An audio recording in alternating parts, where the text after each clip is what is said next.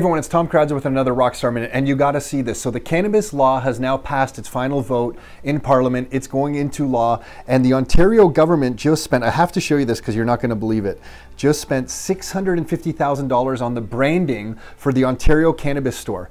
Take a look at that logo. I'm not sure if you can see it on the computer screen or not, but $650,000 on branding to come up with Ontario Cannabis Store with that as the logo. So that's our tax dollars hard at work. But more importantly, I think what everybody should know about is in, in Ontario, here's how it's going to work. The federal government has now passed this into law and they've left it up to the provinces. They've given the provinces 8 to 12 weeks from about today. It's going to get royal assent, I think, today, the time we're recording this, or tomorrow, right about right now. Um, and from th that point forward, they get 8 to 12 weeks for every province in Canada to come up with its own provincial regulations. So in, in Ontario right now, there are some already. If you go to ontario.ca and Google it up, you can find the cannabis legislation. And the minimum age is going to be 19. You're going to be allowed to use it in a private residence or on your in your unit. Um, if it's an apartment building or on the balcony. Um, if you live in a multi-unit building like an apartment, it's going to depend on the rules of your lease.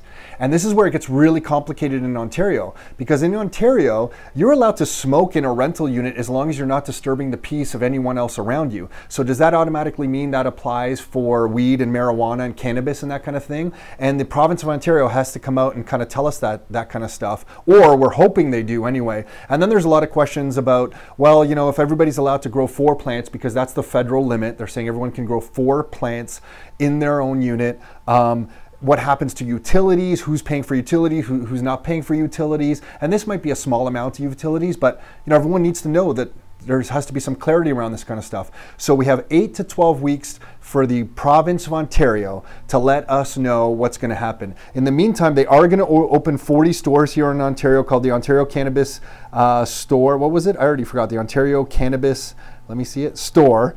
Um, and they're going to open up 40 um, almost uh, imminently and then by the 20 year 2020 it looks like they're going to have 120 stores in ontario or something like that where we're going to be able to buy it. You're going to be able to uh, hold on you 30 grams of marijuana or about one ounce of recreational marijuana um, and that's everything for now. So until the province of Ontario comes out and makes some more decisions, real estate investors and landlords really don't have much to go on, and we're all kind of in standby. But at the federal level, this is passed and going into law in Canada. So we'll stay tuned on this. We'll give you updates as we get them. We'll probably be bringing some um, legal experts on our podcast to talk about this and further. But that's everything for, for now. Until next time, your life, your terms.